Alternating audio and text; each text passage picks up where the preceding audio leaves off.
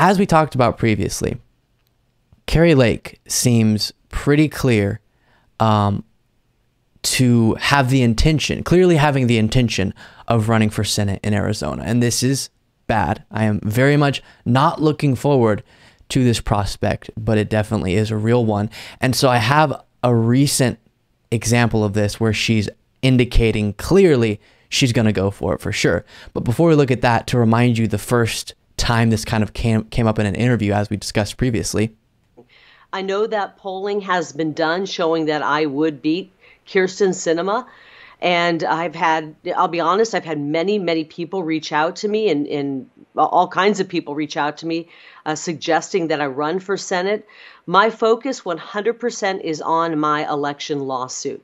The people of Arizona were done wrong. Their sacred vote was trampled upon, and I am fighting to restore honest elections in Arizona.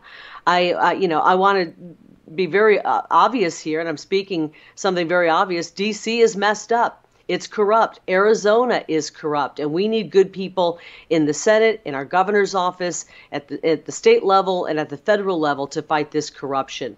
So I am focused right now on winning this election.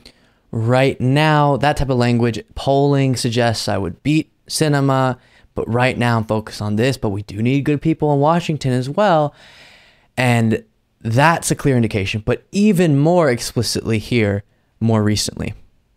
Some people are clamoring for you to run for the U.S. Senate.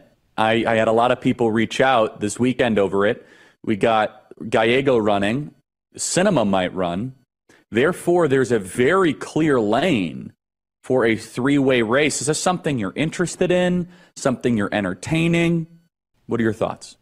Uh, yes, I am entertaining it. I mean, my number one priority is our court case. And I have full confidence in our court case, and I have hope that we'll get a judge to do the right thing. But I'm also looking at um, what happens if we don't get a, a, a decent ruling in that. Mm-hmm. And they want me to go away. They want our movement to go away. I represent we the people. And if they want us gone so badly that they're willing to steal an election, then uh, I'm not going to let them have that. I won't go away. And of course, the election was not stolen. Um, and she continues to spread that lie. And what we've talked about in the past is maybe right after her, her gubernatorial election, she was thinking to herself, all of this is about me anyway. So, what's the best way for me to launch myself into another endeavor, another goal? Well, the Senate seat could be an opportunity for me. And the best way to raise a whole lot of money and stay very relevant in the MAGA base and to have that movement behind you is to be the victim of a stolen election that didn't really happen.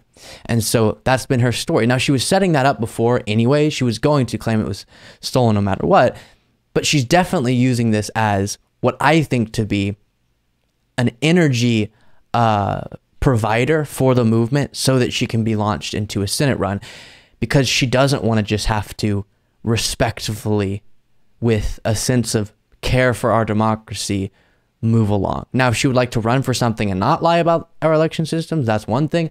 But using that to fundraise as she's raised $2.5 million since her election, after her election, she's raised that from MAGA. That could be her strategy here.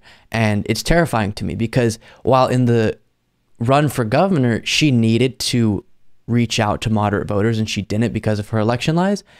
The Senate run, it might be a three way split with someone such as Gallego on the Democratic ticket, Sinema as an independent, and then if Kari Lake ran, she could win with just the MAGA base. And that could be the whole plan here, which is terrifying because if she continues to have this voice within her movement and power if she were to win, that is another step in the direction of our democracy being hurt in so many ways.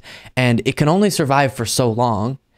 And only so many people in power can hold the views that she holds before we do lose um, our democracy.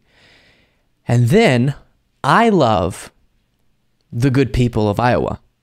It must be noted that in politics and national politics, there is, for the most part, one primary reason people visit Iowa and go to events of uh, in Iowa, and that seems to be the case here. She is appearing at this meet and greet hosted by the Scott County Republican uh, women organization and is going to be appearing in Iowa, which is often something you do if you're eyeing nas- something nationally, especially presidential, vice presidential.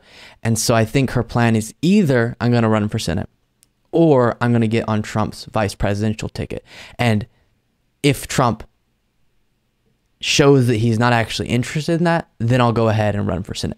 Again, all speculation, but this is what I think is going on behind the scenes with Kari Lake. She wants to get into some position of power somehow.